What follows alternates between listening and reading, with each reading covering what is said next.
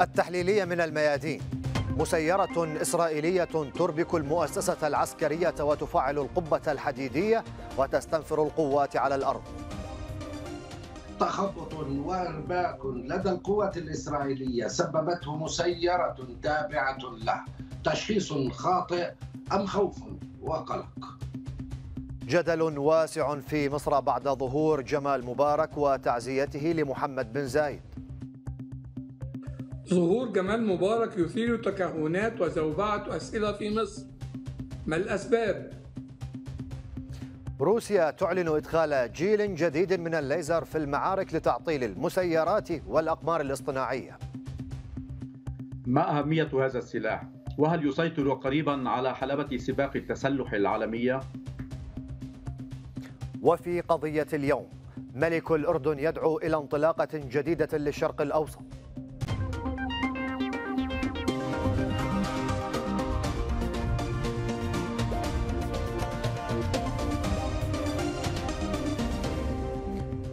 أي حل يطرحه للقضية الفلسطينية؟ وكيف تواجه التحديات الأمنية؟ أين إسرائيل في المعادلة؟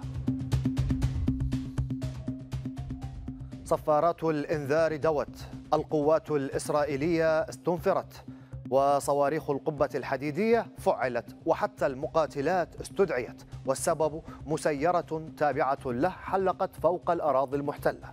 أي تفسير لكل هذا التخبط من جيش؟ ألا يفترض أن يكون على أعلى جاهزية في ظل مناوراته نتابع ثم نحلل.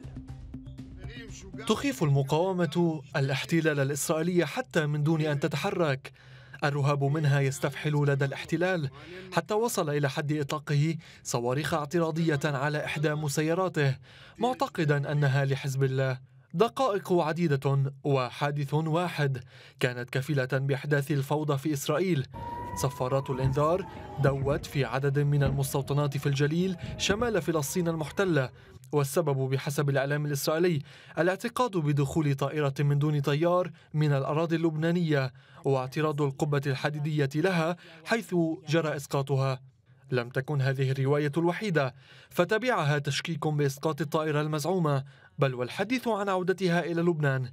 دقائق وغير الجيش الإسرائيلي روايتين وأعلن أن كل ما جرى هو خطأ في التشخيص وأن الطائرة التي أربكته والكيان تابعة لجيش الاحتلال نفسه مؤكدا أن المجال الجوي لم يخرق من أي قطعة جوية معادية.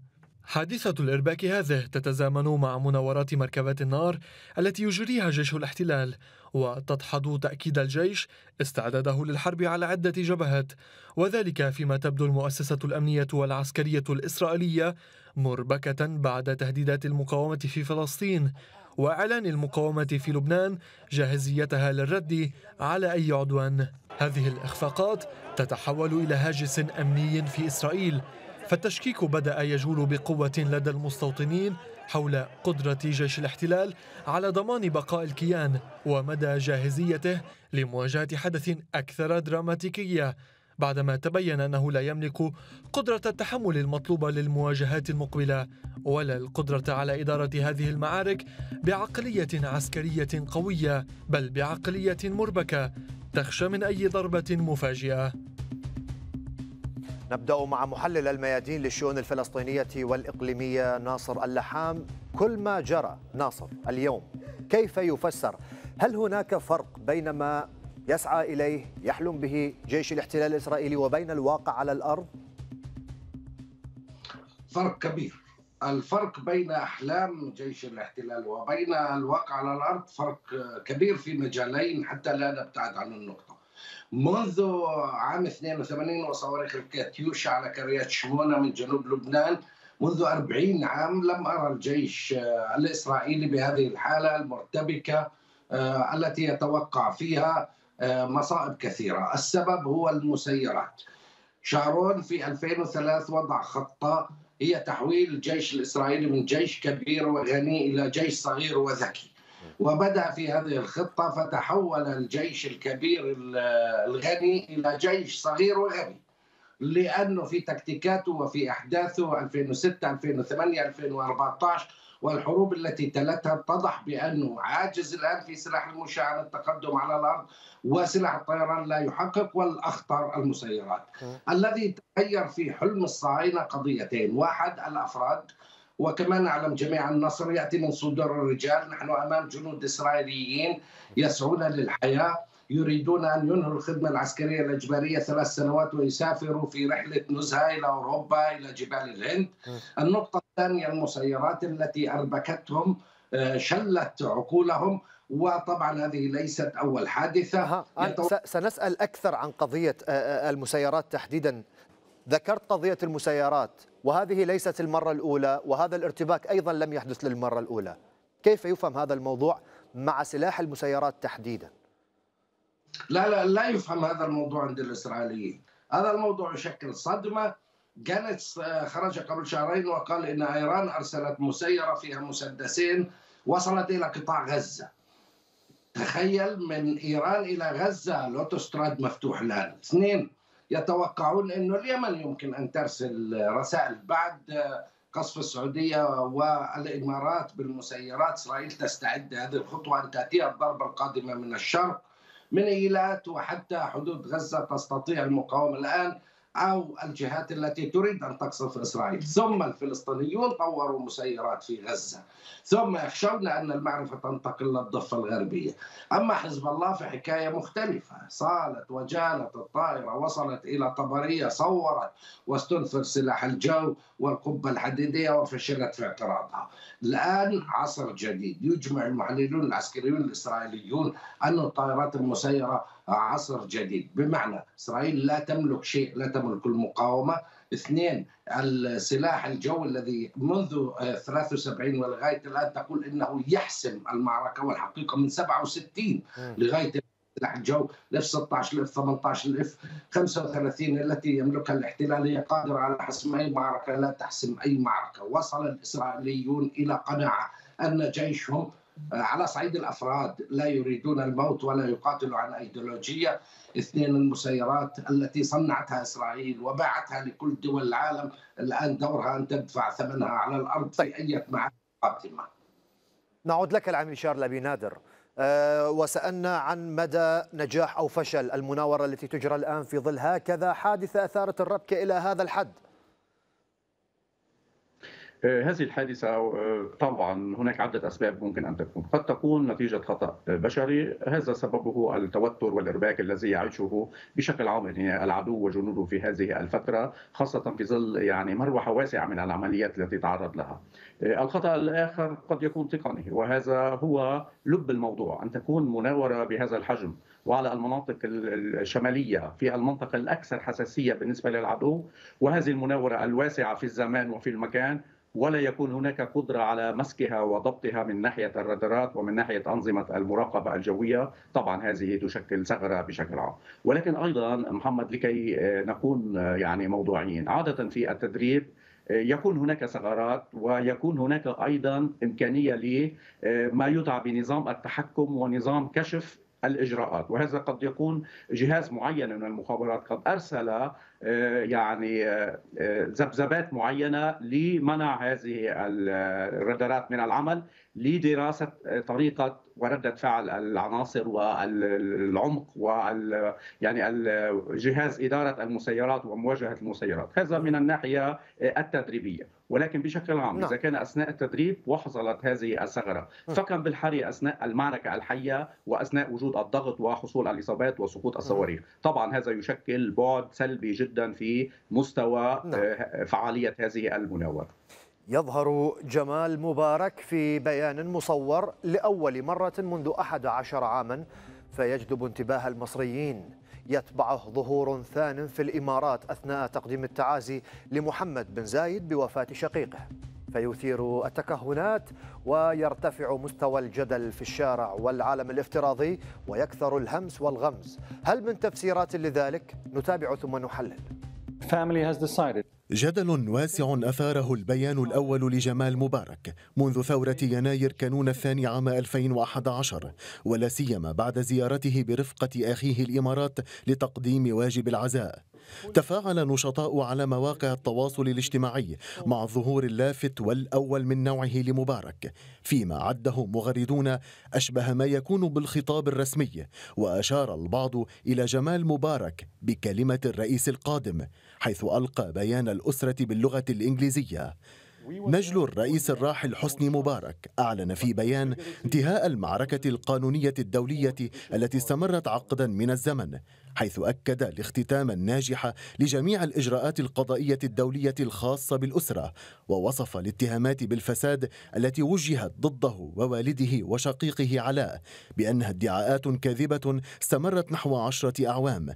لافتا إلى أن الأسرة حصلت على مبلغ كبير من مجلس الاتحاد الأوروبي لاسترداد المصروفات القانونية وفقا لحكم من محكمة العدل الأوروبية. ظهور جمال مبارك أثار العديد من التكهنات بشأن التوقيت والهدف من ورائه خصوصا أنه تزامن مع هذه الزيارة الخارجية. وإن كان آخرون قد استبعدوا أن يكون لجمال أو علاء مبارك دور سياسي في مصر. بسبب إدانتهما في قضية فساد وهي فساد القصور الرئاسية بحكم نهائي أيدته محكمة النقد وقضوا فيه جميعا عقوبة السجن لثلاثة أعوام. محمد ناصر مدير مكتبنا في القاهرة كيف يمكن وصف هذا الظهور المفاجئ؟ لو صح التعبير لجمال مبارك على المستويين الشعبي والرسمي في مصر. الواقع أن ظهور جمال مبارك كان ظهورا مفاجئا ربما فالوريث كما يطلق عليه البعض هنا عاد بعد 11 عاما منذ الإطاحة بأبيه خلال ثورة ال 25 من يناير يحاول على ما يبدو كما يقول كثير من المراقبين تبييض وجه أسرته وتبييض وجه والده وإبراء ذمته في قضايا فساد كثيرة اتهمت بها العائلة واتهم بها جمال مبارك وحسني مبارك شخصيا. غير أنه على ما يبدو أن هذا الخروج وهذا الظهور جاءت نتائجه سلبية بدرجة كبيرة. فرسميا لم تصدر أي تعليقات من أي جهة رسمية أيا كانت ولم يعلق أيا من المسؤولين الحكوميين على هذا الظهور. ولكن كما ذكر التقرير على مواقع التواصل الاجتماعي والعالم الافتراضي بدا واضحا كم الهجوم الشديد الذي تعرض له جمال مبارك وبخاصة من السياسيين الذين تحدثوا عن حالات الفساد الكبيرة التي عاشتها مصر خلال عهد حسني مبارك والتي اتهم فيها جمال مبارك شخصيا بأنه كان وراء تلك الأجواء الفاسدة. أيضا تساءل كثيرين من أين جاء جمال مبارك والذي اعترف في حد ذاته بأنه استرد ما يقرب من 650 مليون دولار؟ من أين جاء جمال مبارك وعلاء مبارك بهذه المبالغ الكبيرة؟ ولماذا خرجت إلى خارج مصر في البنوك الأوروبية؟ أيضا لم يتحدث أحد وهذا ما ذكرته وتساءل عنه كثير من السياسيين هنا أين باقي أملاك جمال مبارك وأسرة مبارك في الخارج من عقارات وأراضي وغيرها؟ أين في بنوك أخرى غير بنوك الاتحاد نعم. الأوروبي وبنوك سويسرا مثل بنوك أمريكا وبعض البنوك العربية؟ الأمر في النهاية يعني إن ما حاول جمال مبارك بتحقيق أو إبراء ذمة أسرته ارتد عليه بشكل كبير وحيث طرح كثير من المصريين إن فساد مبارك ليس فسادا ماليا فحسب ولكنه فسادا سياسيا وأنه وسنسأل بعد قليل محمد عن الأزمة الاقتصادية التي يعيشها الآن المواطن المصري لكن نصر اللحام الرئيس الفلسطيني محمود عباس أيضا ذهب إلى الإمارات لتقديم واجب العزاء. يعني في زيارة منذ عشر سنوات هو لم يزر الإمارات. هل رشحت أي معطيات حول هذه الزيارة؟ لغايه الآن محمد زيارة بروتوكولية لتقديم العزاء والمباركة للخليفه الجديد. وبالفعل عشر سنوات كانت فترة انقطاع سياسي وعلى جميع الصعد على خلفية احتواء الإمارات لمحمد دحلان. وهذا يدل على أن الإمارات لا تزال أصغر بكثير من أن تصنع رؤساء أو تعزل رؤساء في ربط لما نتحدث به مع زميل محمد ناصر حول جمال مبارك. الإمارات لا تصنع رؤساء ولا تعزل رؤساء لا تزال قد تكون نقطة خلاف أو دولة فيها لكن ليس أكثر من ذلك، الرئيس الفلسطيني رغم حاجة الفلسطينيين لكل صوت ولكل شيء، لكنه نجح أن يعيش من دون الإمارات عشر سنوات. محمد ناصر هل من علاقة بين ظهور جمال مبارك في هذا التوقيت والأزمة الاقتصادية التي يعيشها الآن المواطن المصري، هل من تفسيرات أخرى لطريقة الظهور بهذا الشكل بعد انتهاء المعركة القضائية أو الزيارة لتقديم واجب العزاء؟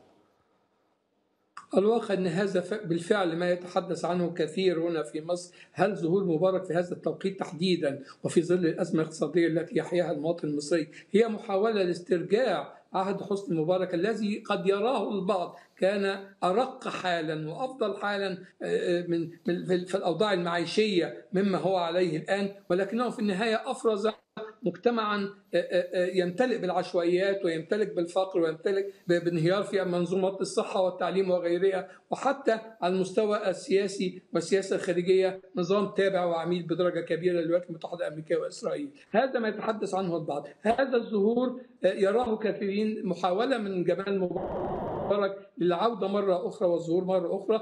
أداؤه في في في إلقاء الكلمة وهذا البيان هذا الأداء باللغة الإنجليزية كأنه يوجه رسالة إلى الآخرين في الخارج خارج مصر. أيضا يحاول من خلال استخدام كما بدأ واضحا أنه يقرأ من من جهاز من كلمة, كلمة مكتوبة بعناية أمامه. جهاز أوتو كيو جهاز الكاميرا التي يسجل بها القارئ الآلي كانت نعم. كانت مهنية للغاية م. هذا الأمر يعني إنه كان يخطط لظهور جاذب وهو ما حدث بالفعل. ولكن نشك بدرجة كبيرة أن يكون له عودة مرة أخرى أو أن تقوم الولايات المتحدة الأمريكية أو غيرها بمحاولة إحياء جمال مبارك مرة أخرى وأن نرى ابن دكتاتور آخر يعود كما عاد ابن دكتاتور الفلبين نعم. الذي أطلق به الثورة قبل أيام قليلة إلى سدة الحكم بعد ما يزيد عن 35 عاما. أعتقد إن زكاة المصريين ما زالت على حالها وإن جمال مبارك لن يكون له وجود نظرا للحكم القضائي الذي يعزله سياسيا تماما لا يحق له وفق هذا نعم. الحكم أن يمارس أي عمل سياسي نتيجة اتهامه في تهمه مخلة بالشرف. ليس صاروخا جديدا أو أي سلاح تقليدي تدخله روسيا في المواجهة مع الأطلسي في أوكرانيا. إنه الليزر ومن الجيل الجديد تقول إنه يحرق المسيرات ويعطل الأقمار الاصطناعية. فهل هي بداية تحول في سباق التسلح؟ نتابع ثم نحلل. لم تعد أسلحة الليزر سلاحا يطور ويستخدم في الخفاء. فمن المتوقع أن تحل نماذج عديدة منه مكان الأسلحة التقليدية في العقد المقبل. يتحول الأمر إلى واقع مع إعلان روسيا أخيرا إدخال جيل جديد أكثر تدميرا وفعالية إلى أرض المعركة في أوكرانيا. إنه زاديرا نظام الليزر المتنقل ذو المميزات العالية الذي كان قد أعلن عنه الرئيس الروسي فلاديمير بوتين للمرة الأولى عام 2018 تنشر روسيا السلاح الجديد على نطاق واسع وتمد قوات الدفاع الجوي بأعداد كبيرة منه. بعدما أجرت تجربة تقول إنها أدت إلى إحراق طائرة مسيرة على بعد خمسة كيلومترات في غضون خمس ثوان. تخصص السلاح يتخطى إسقاط المسيرات وفق نائب رئيس الوزراء الروسي المسؤول عن التطوير العسكري يوري بوريسوف. فبإمكان زديرة تعطيل جميع أنظمة استطلاع الأقمار الاصطناعية التابعة لعدو محتمل في مدارات تصل إلى 1500 كيلومتر.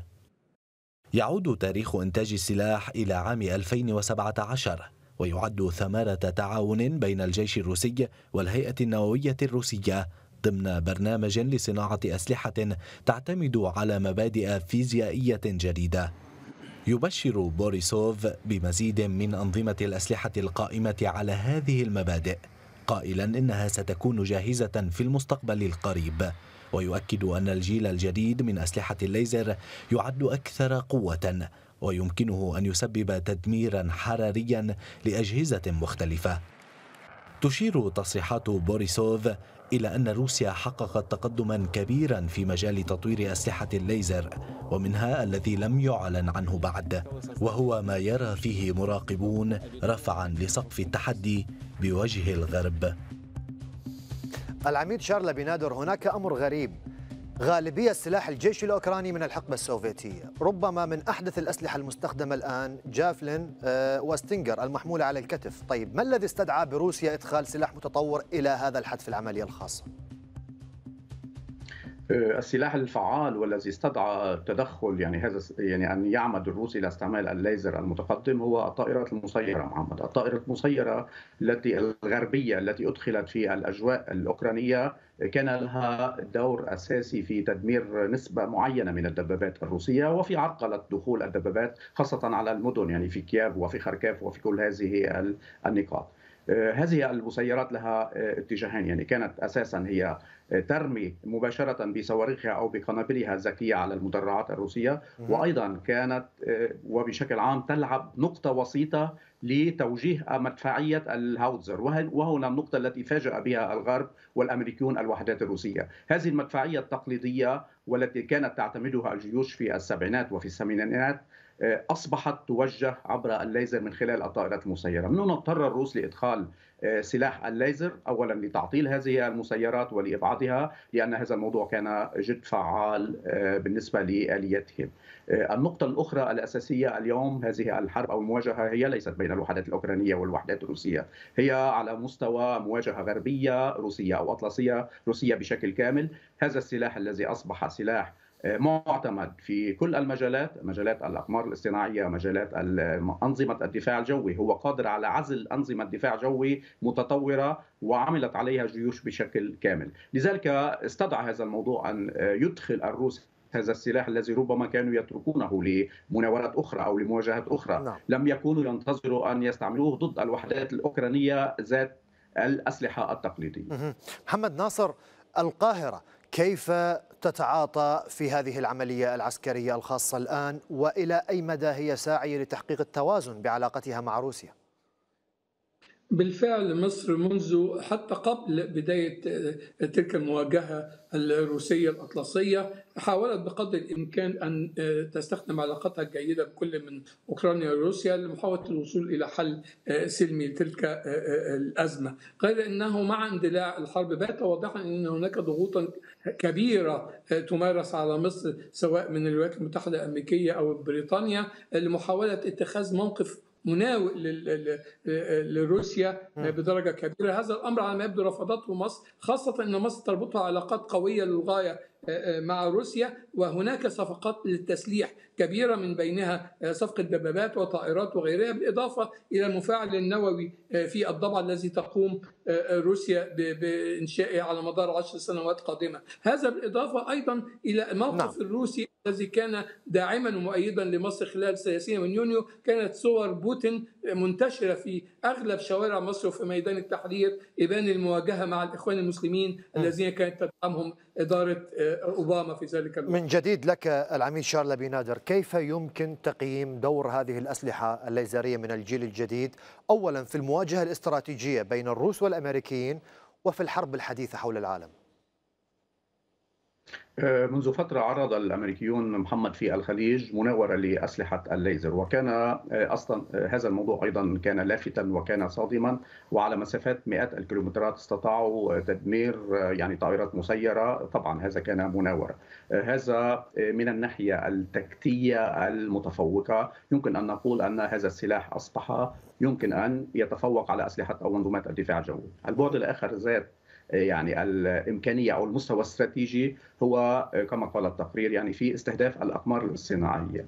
الأقمار الاصطناعية طبعا التي هي مثلا فوق الأجواء الأوكرانية سوف تصبح معطلة لن يتم الاستفادة منها ولكن الأقمار الاصطناعية البعيدة المدى والتي تدير المعركة الاستراتيجية أو معركة الأسلحة النوعية وخاصة الروس عمدوا إلى إظهار قدراتهم في الصواريخ العابرة للقارات، الصواريخ حاملة الرؤوس النووية مثل سرمات ومثل افانجارد أن تأتي هذه القدرات الليزر الآن وتعطيل الأقمار الاصطناعية التي هي تشكل نظام إنذار مبكر كشف هذه الصواريخ. هذا يعتبر في البعد الاستراتيجي أو في الصراع الاستراتيجي نقطة متقدمة جدا. من هنا يمكن القول أن هذا السلاح الذي أدخل من الجيل الجديد له بعد تكتي في الميادين التقليدية وله بعد في المواجهة الاستراتيجية آه، على مستوى عالمي أو على مستوى دولي. العميد شارل أبي نادر محمد ناصر وناصر اللحام شكرا جزيلا لكم مشاهدينا فاصل ونحلل بعده قضية اليوم.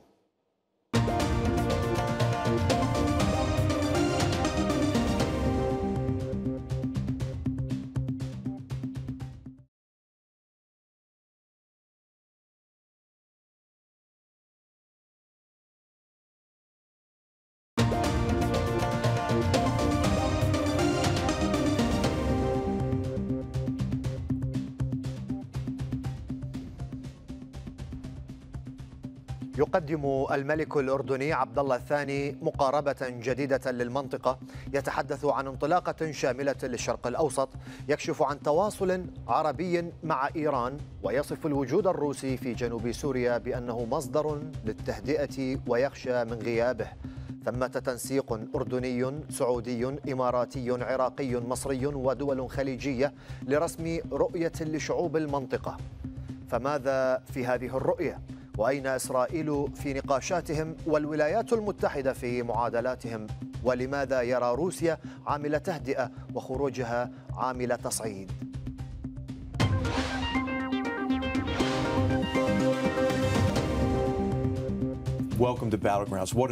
في مقابلته مع معهد هوفر الأمريكي كشف ملك الأردن عن مقاربته للتطورات في المنطقة وأبرزها حديثه عن انطلاقة جديدة للشرق الأوسط في إجابته على سؤال عن طريقة التعامل مع إيران.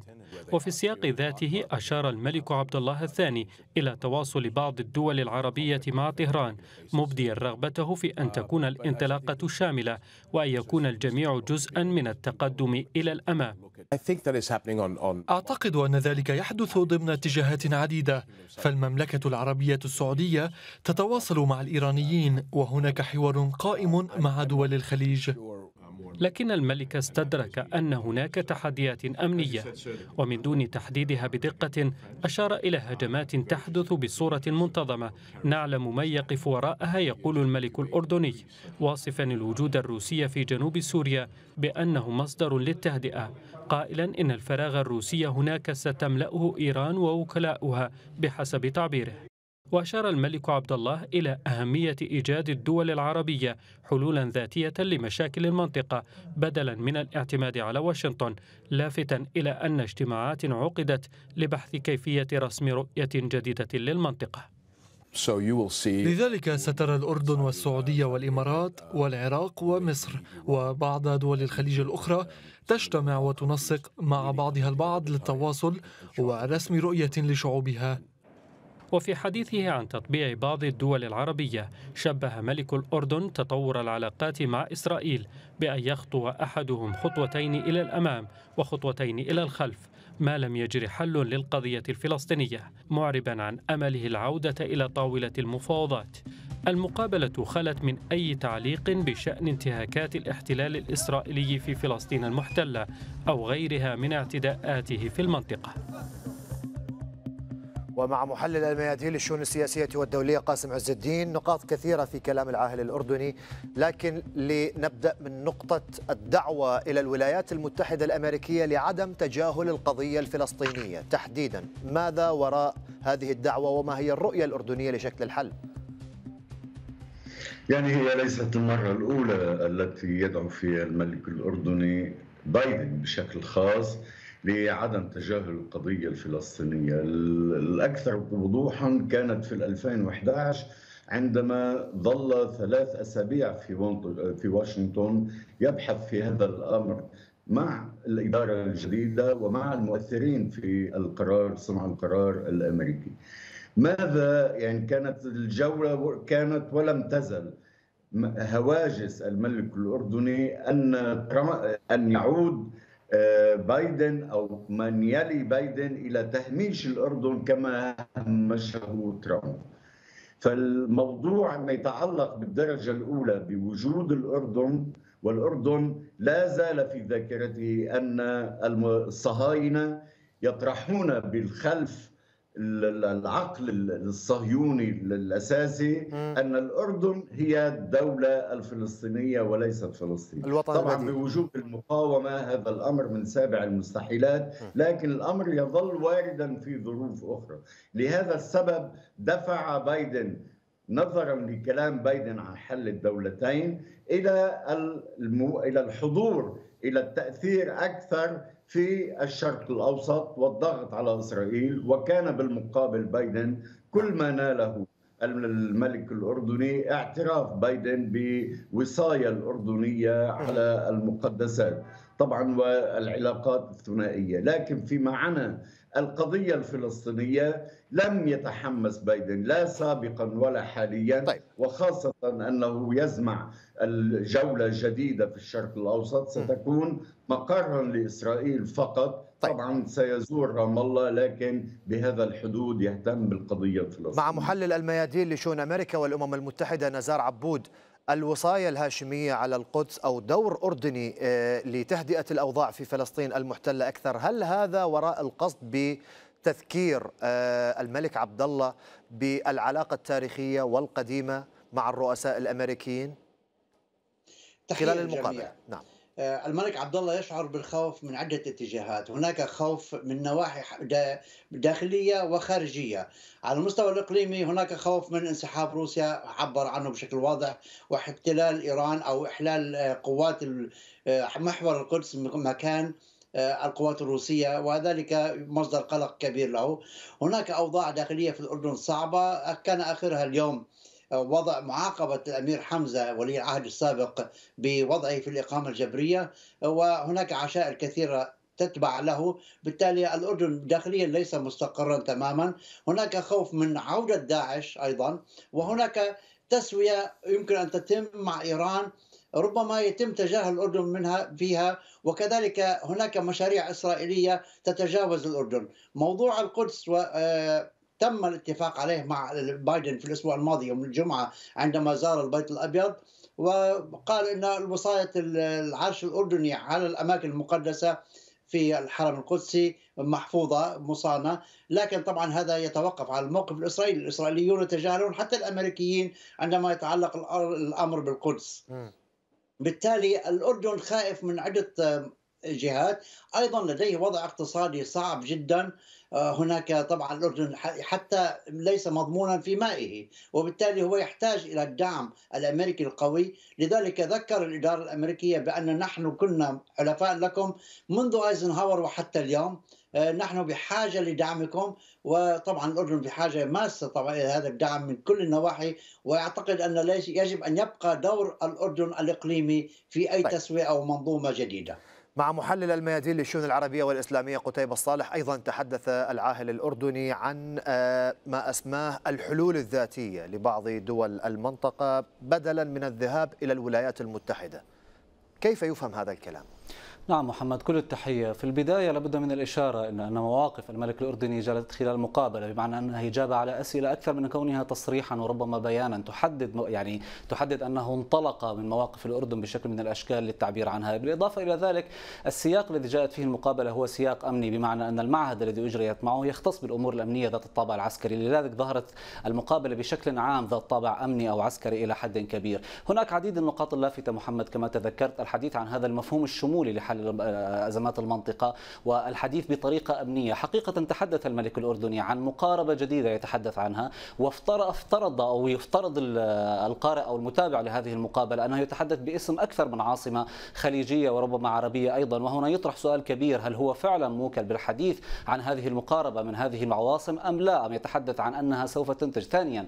لا تقدم المقابلة الحقيقة الكثير من الإجابات حول هذا الموضوع وإنما المزيد من علامات الاستفهام حول طبيعة هذه المقاربة التي تحدث عنها هي مقاربة أمنية أم سياسية في الحقيقة؟ خاصة أننا يعني هنا في الميادين تابعنا خلال السنة الماضية أو السنوات الماضية حديثنا عن تحالف الحرب الذي كان يتم الحديث عنه وهناك كما لاحظنا في مقابلة الملك الملك الأردني هناك محاولة واضحة لغياب أو تغييب إسرائيل عن الحديث في هذا الإطار. ذكر العديد من الدول وتجاهل ذكر إسرائيل في هذا الإطار. لذلك لربما أو نتحدث هنا أن أن أن أن جزء من الحديث كبير كان إجابة على سؤال لماذا لا يجب أن تخرج الولايات المتحدة المتحدة المنطقة أو بالتحديد السؤال كان أن لا تدير ظهرها. هنا ذهب التطرق إلى موضوع روسيا وحاول عزل المنطقة عن سياق الحرب في أوكرانيا إلى حد كبير وربما كان جزء من جولته أو زيارته هذا الأمر. ثم انتقل للحديث عن الحلول الذاتية التي لم يحدد ماهيتها ولم تكن مفهومة إلى حد كبير في هذا الإطار.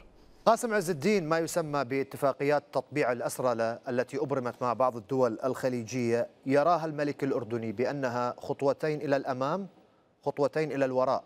لماذا؟ وذلك يحسب في إسرائيل مكسبا مكسبا كبيرا. بالضبط لأن هذه هذا التطبيع الأسرى مع إسرائيل هو لمصلحة إسرائيل وحدها. و بشكل خاص وعلى وجه الخصوص المتضرر الأساس هو الأردن. نذكر على سبيل المثال قمه النقب الأخيرة. من حضر بها؟ السعودية مصر الإمارات المغرب والبحرين بحضور طبعا وزير الخارجية الأمريكي. الأردن استثني من حتى من لقاءات على مستوى تعارف أو على مستوى يعني الظهور الإعلامي. وعلى الأثر ذهب الملك الأردني إلى رام الله بعد انقطاع منذ 2017 عن العلاقة مع مع رام الله. هذا يشي بأن الأردن يشعر بالتهميش الذي بدأه ترامب واستفحل خلال تلك المدة الطويلة إلى أن جاء بايدن. بايدن الذي يوصف وتصفه حتى كل الدول المطبعة والمؤسرلة مع إسرائيل بأنه سياسته منكمشة يريد أن يخرج من هذه المنطقة يريد أن يعود إلى الاتفاق النووي إلى آخره. لكن الأردن على وجه الخاص لديه رؤية سابقة وهو يعمل ويأمل. وأنا أظن أن النقاشات التي يشير إليها الملك الأردني هي التي حصلت مع مصر ومع العراق ويأمل أن تنضم إليها سوريا ولبنان ورام الله. ويستبعد أن تدخل في هذا الإطار يعني الاعتماد على الحلول الذاتية الإمارات أو السعودية أو غيرها لأن الخيارات أصبحت واضحة لهذه الدول. الأردن يأمل بأن يحدث تهدئة بتدخل امريكي وأن ينتج تنتج هذه التهدئة نوع من الاستقرار كما طيب. نقطة ذكرتها قاسم في كلامك. نسأل عنها نزار عبود. آه نزار ذكر قاسم بأنه آه بايدن منشغل بملفات أخرى غير المنطقة. هذا يقودنا إلى السؤال حول كيف سيتفاعل أو كيف سيكون صدى كلام الملك الأردني في واشنطن تحديدا في الإدارة الأمريكية. هنا تحدث الملك عبد الله الثاني عن ضرورة عدم فصل الجبهات والساحات. قال إن المعارك والأزمات هي مترابطة ببعضها ذات صلة ببعضها ولا يمكن عزل منطقة عن أخرى. والمصالح الأمريكية تتأثر وفي خطر في حال تجاهل.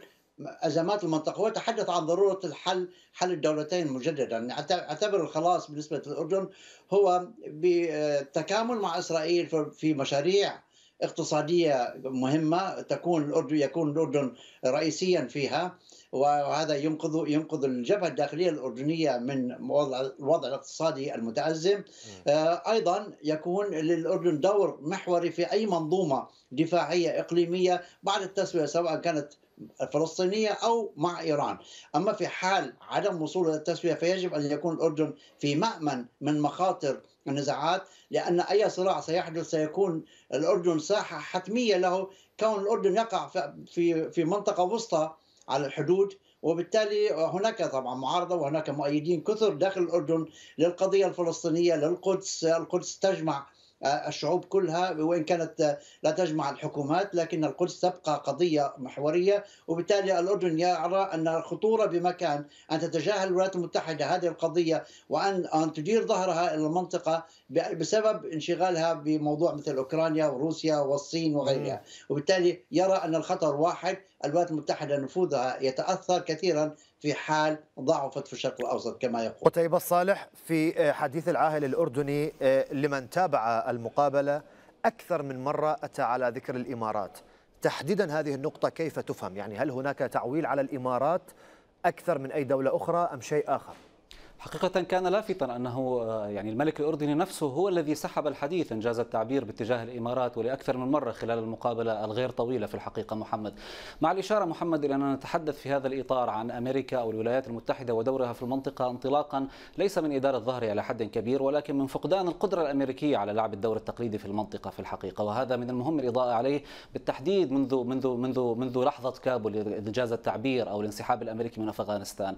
في هذا الإطار كان السؤال خلال المقابلة حول مواقف دول المنطقة أو حلفاء الولايات المتحدة أو ربما الانزعاج كما سماه المحاور من إدارة الولايات المتحدة ظهرها في المنطقة. حاول الملك الأردني في في أكثر من من من من, من لقطة في هذه المقابلة أن يأخذ الحديث باتجاه الإمارات ومن ثم انطلق إلى جانب آخر وهو تحدث أنه من الظلم الحديث عن الإمارات بأنها تتخذ هذا الموقف بسبب الشعور بأن الولايات المتحدة آه، تدير ظهرها للمنطقة. فكان هناك أيضا محاولة للإيحاء بأن الموقف الإماراتي إلى حد كبير غير مرتبط بالسياسة الأمريكية الحالية وأنه موقف يعني ينطلق من سياسة ثابتة أو خيارات بالنسبة للإمارات في نقطة لافتة في الحقيقة. يتقاطع ذلك لربما مع تصريحات آه، السفير الإماراتي في الولايات المتحدة قبل فترة والذي تحدث عن أن علاقات الدول تمر بصعود وهبوط وتكون قوية وضعيفة في بعض الأحيان والعلاقة الآن بين الولايات المتحدة والإمارات تمر بمرحلة كما سماها اختبار تحمل إلى حد ما. من غير الواضح محمد في الحقيقة سحب الحديث كما ذكرنا باتجاه الإمارات لأكثر من مرة مع أن كان السؤال كان عن حلفاء الولايات المتحدة في المنطقة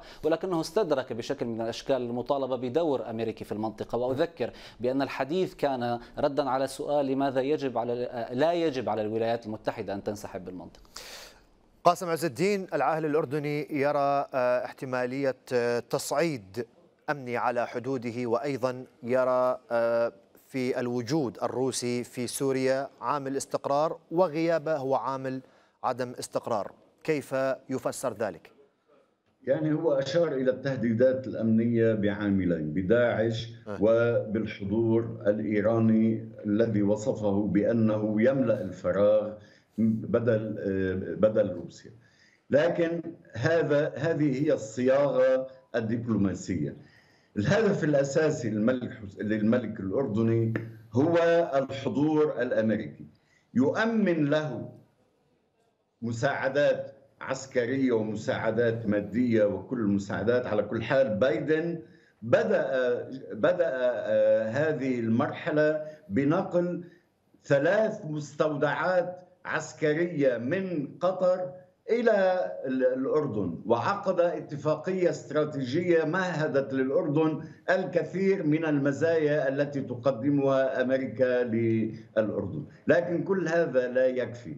لأن المستفيد الأكبر هو إسرائيل، وإسرائيل إذا كان وجودها وتوسعها في العلاقات العربية العربية الأسرى للعربية الأردن هو الضحية. لذلك يرى أن لابد من حضور أمريكي في المنطقة وخاصة تل أن تلجم ما يمكن أن تتعرض له الجبهة الشمالية وفي الصراع وخاصة المسألة أننا اليوم نعيش في وضع مقاومة هذه المقاومة تقلب كل المعادلات وليس مستبعدا أن يعيد الملك الأردني علاقته نعم. القوية والوطيدة مع حماس كما كانت في السابق لأن المستفيد لاحظ مثلا في معركة سيف القدس بايدن يتصل بمصر نعم. ويتجاهل الأردن في حين أن الأردن تاريخيا له الدور الأساسي أو على الأقل له دور فعلي في هذه المنطقة اسمح لي قاسم بسؤال نزار عبود. نزار من كلام العاهل الأردني ترى الأردن والسعودية والإمارات العربية المتحدة والعراق ومصر وبعض الدول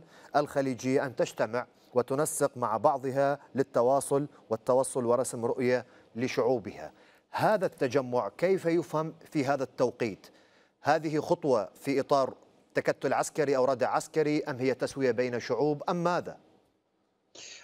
هذا التجمع يأتي في وقت طبعا هناك توقعات بحدوث اتفاق نووي بعد التحركات الأوروبية الأخيرة وهذا وهذا هدف وضعه بايدن بأن يكون هناك اتفاق نووي لكن في حال لم يحصل اتفاق نووي إذا حصل اتفاق نووي سيكون هناك منظومة عربية قريبة من إسرائيل مع الولايات المتحدة قريبة من ناتو تستطيع أن تقف معا بحيث لا تصبح هناك هيمنة لمحور القدس على المنطقة لأن الانتصارات التي تحققت سواء في اليمن أو في في غزة أو في لبنان أو غيرها وفي سوريا والصمود الكبير الذي حصل والتأثير الكبير داخل العراق يهدد هذه الدول. لذلك هو تحدث عن سوريا والعراق كمصدر أمني مهدد للأردن وليس داعما للأردن. حتى أنه يعني عرب عن قلقه من هذا الوضع.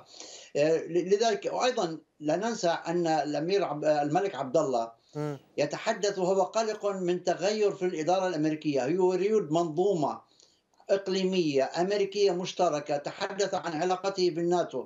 هذه المو... قبل أن يأتي الجمهوريون ويغيروا المسائل مرة ثانية لا سيما وأنه رفض اتفاقات أبراهام في السابق ودولة ترامب أدارت الظهر له تماما وعلى حساب الأردن حصلت تسويات كثيرة آه، ودعم لإسرائيل آه، نعلمه جيدا وبالتالي هو يريد في هذه الفترة المتبقية من إدارة بايدن أن تصبح هناك بوتقة أو منظومة معينة تستطيع حماية الأردن وإبقائه في دوره الحالي. قتيبة الصالح. نقطة إيران التي جاءت في حديث العاهل الأردني كيف تقرأ هذه النقطة؟ يعني هو تحدث بالدبلوماسية آه، وأيضا كشف عن تواصل عربي مع إيران نعم محمد في الحقيقة إذا ما عدنا للسؤال كان موافقا على سؤال محاور حول ما سماه تصدير الثورة إلى حدود إسرائيل بين هلالين. دور إيراني مفترض في العراق أيضا بين هلالين. ثم سأله المحاور حول كيف يمكن حل المشكلة الإيرانية. في الحقيقة في البداية كان هناك نبرة سياسية دبلوماسية بالإشارة إلى الحوار السعودي أو الخليجي أيضا مع إيران والحوار الأمريكي. لكن تم الانتقال فيما بعدها إلى نقطتين هامتين في الحقيقة وهما كانتا مستغربتين إلى حد ما. الأولى هو حديثه عن حلول القوات الإيرانية مكان القوات القوات الروسية في جنوب سوريا أو على حدود مع الأردن. وهذا في الحقيقة يعني لافت للنظر إلى حد كبير لأن هذا الأمر لا يستند حتى إلى معلومات. هو ضخ في إطار تحليلات تحريضية للإيحاء بوجود دور سياسي في إيران يتجاوز المؤسسات السورية. وبالتالي تبني ملك الأردن لهذه التحليلات التحريضية في هذا الإطار في الحقيقة كان لافتا للنظر إلى حد كبير لأنها كما ذكرنا لا ترقى حتى إلى مستوى المعلومة. هذا من ناحية. من ناحية ثانية إذا ما تجاوزنا هذه النقطة لم يسجل إلى حد ما صدام في العلاقات الإيرانية الأردنية إلى حد كبير. وبالتالي أيضا كان مستغربا في هذا الإطار محاولة الإيحاء بنشوب صدام أو بتوتر على الحدود في الحالة الافتراضية التي ذكرها ملك الأردن. هاتان النقطتان في الحقيقة محمد كانتا لافتتان بحديثه عن إيران وربطها بالملف السوري بينما كان الحديث عن المحور سواء الأمريكي أو السعودي أو الخليجي مع إيران في إطار لغة الدبلوماسية التي تحدث فيها. شكرا جزيلا لكم قتيبة الصالح نزار عبود وقاسم عز الدين مشاهدينا الشكر موصول لكم التحليلية انتهت في أمان الله.